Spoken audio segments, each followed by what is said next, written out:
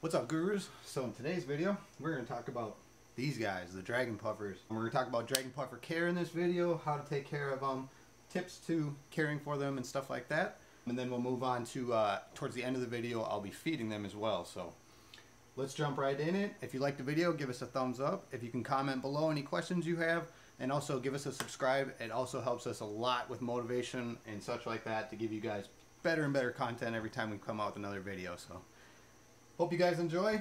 I love these fish, so let's get into it. Dragon Puffer Care.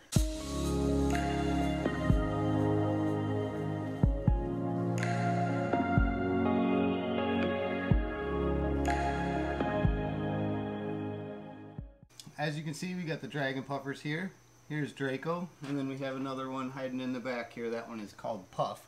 First things first is going to be temperature, of course. Temperature you want to be sitting somewhere between the 75 to 82 range. Me, preferably, I shoot for about 78, 79 degrees, like smack dab in the middle.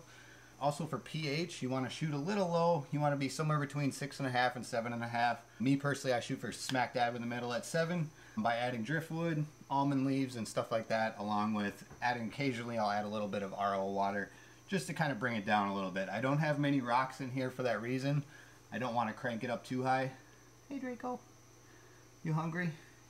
Came up for the camera for us, huh?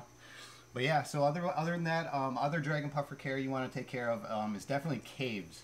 So as you can see here, we have two separate sides of the tank essentially with a blank spot in the middle. This allows Draco here to kind of claim one side and Puff over here to kind of claim the other side.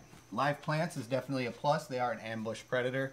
In the wild, what they do is they will actually hunt for fish and worms and crustaceans and stuff like that hiding in the bushes and they'll kind of ambush them to get at them. What we feed these guys is mostly a nightcrawler diet or worms. Um, occasionally I feed them tilapia. Alright, so now that you've got the basics on the food, other dragon puffer care we're going to take care of is having two of them in the same tank. Now this is possible. One, one dragon puffer alone should be fine in about a 30 gallon tank for most of its life. Two of them you want to shoot for 75 to 100 gallons. The more the merrier of course. Just make sure you have lots of caves, lots of cover.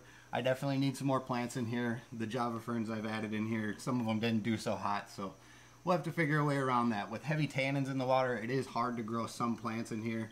Anubias seems to work the best in my opinion. Dragon puffers are also known as humpback puffers, also known as Pao palembangensis. I can never get that one right. But they're a Pao species, unlike uh, most puffers, which are in the, I believe it's a Tetradon species. These ones here are less notorious for eating things that are hard, such as snails and such like that. They do eat uh, crustaceans in the wild, such as uh, shrimp, crabs. They don't necessarily need to. They don't, their teeth don't get elongated like most puffers do. A worm diet and a fish diet is highly recommended. So as I said, they are an ambush predator, so they do like to, you know, kind of hide before they attack. Obviously when I feed them worms and stuff like that, they'll come right up to the surface here and feed. As soon as they know I'm bringing worms to them, you'll see what I mean. Keeping two of them together, definitely not a bad idea. As you can tell, they're in good shape. We'll get some close-ups and stuff like that as well. Other care things you want to make sure you do, sand substrate is highly recommended. They don't burrow like all puffers, but they will. So you want to give them the opportunity to be able to do so. Doing planted substrates is a bad idea. They will absolutely destroy the tank. As you can tell, Draco here is trying to head into his cave and figure out if I'm going to bring him some food or not. So we'll have to get him some worms here in just a second. The other thing you want to make sure you take care of is flow. Now these guys come from low flowing rivers and stuff like that in the wild. So you kind of want to keep the, the flow in here a little slow. That's why I run mine with air pumps, just air sponge filters. I try not to keep the flow too high in here. They definitely love to hide, as you can tell. And Puff hasn't, still hasn't came out to see us, but once they find out I got food for them, they'll definitely be out here playing with us. It's pretty simple. Truthfully, they're one of the easier puffers to take care of. Majority of them are going to be wild caught when you get them, so they may be extremely shy to the point where they really won't come out. Obviously, feeding them with your hands and stuff like that encourages them to be more comfortable with you. That's one of the tips I use personally to, you know, get them to do the stuff that they do.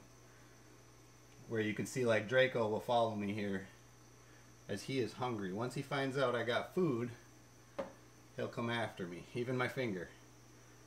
Now, obviously, you don't want them to bite you. They still got teeth. So make sure you're careful of that. Digging in there, they do not like that. They tend to either panic or they will attack your hand. so I kind of run, you know, I, I fight or flight on that. I just leave the tank. I leave them be kind of let him go back to his caves. Another tip is you definitely want to have clean water. Clean water is a necessity with these puffers. If you do not constantly change the water in here at least weekly, now me personally I do 75% in here. They seem to be doing absolutely amazing. As you can see Draco has more of a yellow pattern whereas Puff, if he'll come out, or she'll come out, is more of a dark brown color. So they can kind of vary in colors. They are often confused with the arrowhead puffer, which, which looks kind of similar as you can tell. And we'll get some more close-ups and talk more about that in just a second here. So let's get some close-ups here. So here we got Draco. He is pretty large. Um, these guys get anywhere from four to six inches I've seen.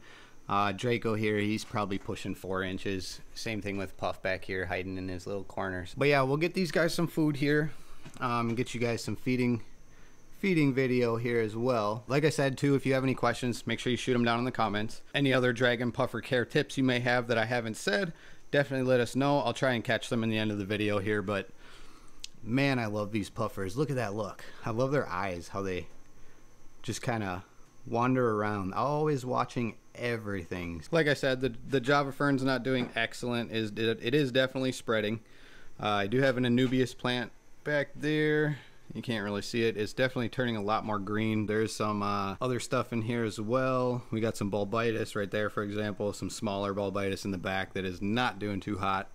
Uh, same thing with that right there. And I thought for sure bolbitis would take off in here, but regardless, let's go grab some worms for this guy here and for Puff. All right, so as you see, we got some night crawlers in here.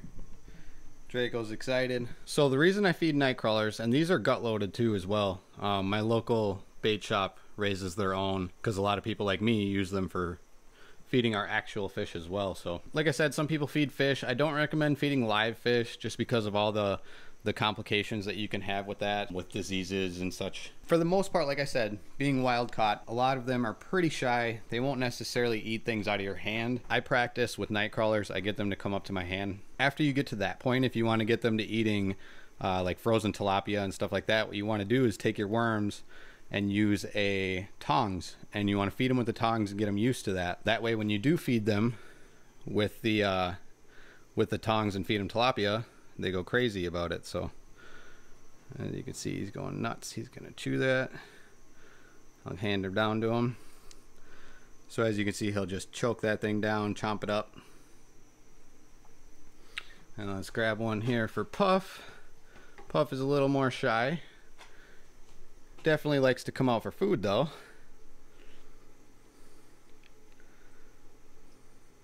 Definitely this uh this puffer here is a lot more hides a lot more often than Draco does. Draco I've had a lot longer. But they will chow down this entire nightcrawler. That being said, nightcrawlers obviously eat a lot of dirt and stuff like that.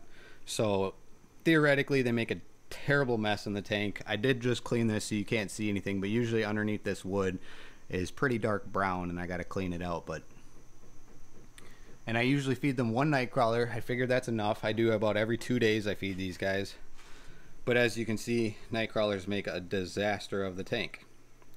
So that's another reason you also have to do weekly cleanings and stuff like that. So but they are amazing fish. They do change color. As you can see, Draco's kind of turning like a brown color. But he will turn yellow as he pulls more out into the sand. Same thing with Puff here as well. So awesome, awesome, awesome puffers to have. They are becoming extremely common. As you can see, like I said, makes a terrible mess. But yeah, so if you guys got any questions, make sure you shoot them down in the comments. I do not know absolutely everything about these fish, as with most fish keepers. It does take practice and some experience in just keeping them to kind of understanding how they work, especially some of these wild caught fish.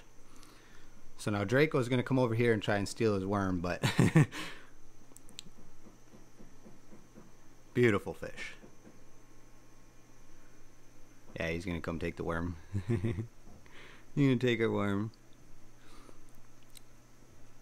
Now these also have bred in captivity. I have not been able to determine whether they're a pair or not. It is almost impossible to sex these unless they have babies. So you'll have to kind of pay attention to that stuff if you do want to breed them. Just keep an eye on them. I let my algae grow crazy on the back glass. Sorry about that. But yeah, fairly simple. Definitely lots of caves. More plants would be better. I definitely do look to adding more plants to this tank. So and there you have it. That is Dragon Puffer Care for you guys. Um, like I said, if you got any questions, shoot them down in the comments. Give us a thumbs up if you like the video. And definitely give us a subscribe if you guys love the content we bring.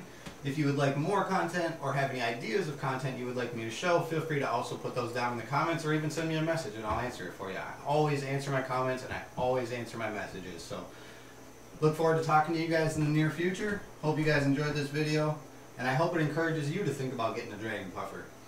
Have a good one guys. We'll see you guys in the next video. Take it easy.